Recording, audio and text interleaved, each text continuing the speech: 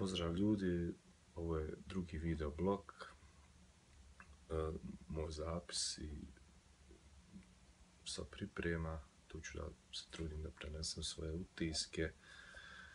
I da vam kažem kako i šta radim, ovaj, za one koji nisu pogledali prvi, predlažem da pogledaju, evo kratko ću ponoviti, krenuo sam svoje pripreme za takmičenje koje će biti u aprilu.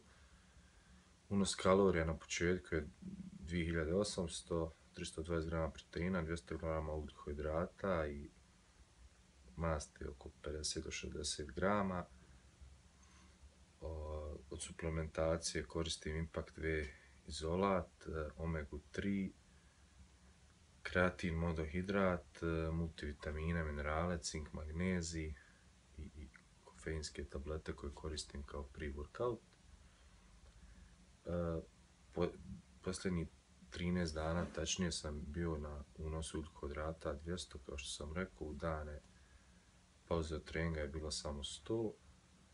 Osjećao sam se jako iscrpljeno, pad motivacije, gubitak energije na treningu, konstantni umor u toku dana, spavalo mi se, tako da sam odlučio da napravim jedno punjenje.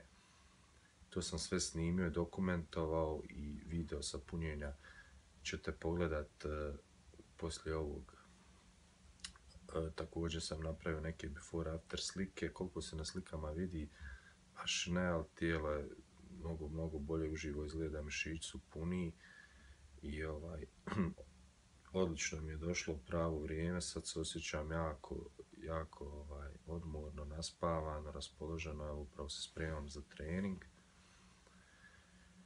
sljedeći period koji koji je ispred mene su 7 do 10 dana. Prehrana će ostati ista. Od suplementacije ću povećati unos omege sa 2 na 3 grama dnevno.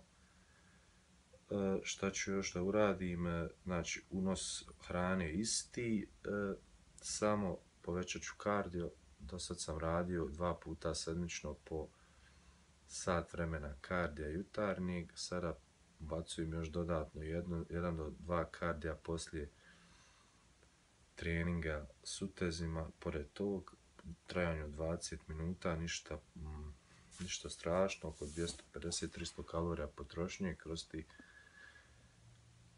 10 minuta i to je to.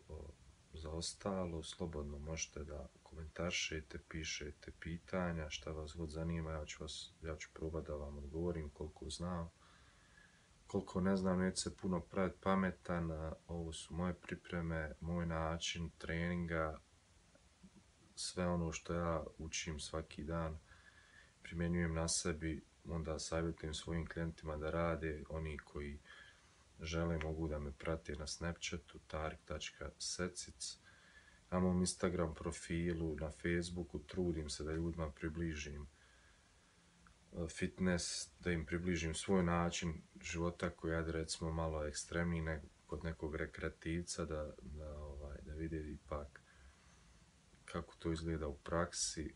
Uh, mnogo informacija na internetu, dobrih, mnogo je loših, ali eto, ovaj, nemam što da krijem. Tu sam da pomognem, da savjetujem svako ko želi da sluša, a ko ne želi da sluša, naravno, opet njegov izbor,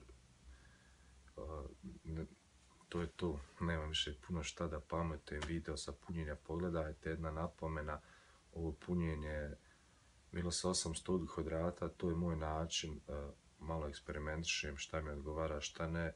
Za sada je ovo najbolje što sam uspio da uradim, nisam se osjećao naduvan od silne količine ugljikohidrata, vjerujte mogao sam još pojesti sigurno 400, e, imao sam eto taj zadnji obrok je kao što ćete vidjeti bio neki cheat meal, da nahrani malo psihu, opet gledao sam da, da je što manje štetno, nisam htio ići u McDonald's, su sam hranu spremao, ja znam kako sam je spremao, kuhao, i to je to.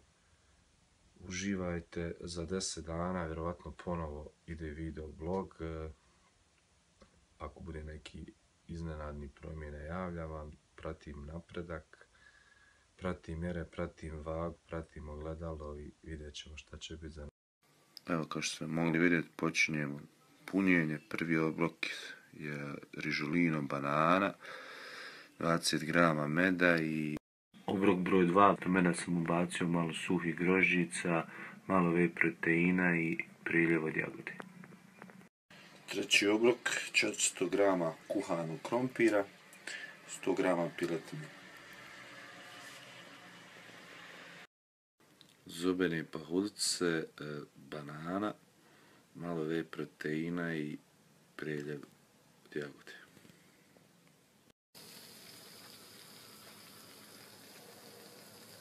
Njam, njam. Tri tortilje i 100 grama riže, jedno poprilično čisto punjenje za mene. Obrok poslije treninga, 100 grama riže, 100 grama tjestenine i 100 grama mljevenog ramsteka. Build your body. E, ovo je moj cheat meal za ovo punjenje. 250 grama sladoleda, jedna banana, šumsko voće i malo šlaga. Preko je preljev. Ukupan unos hrane, kalorija, proteina, masti i ugljikohidrata za danas.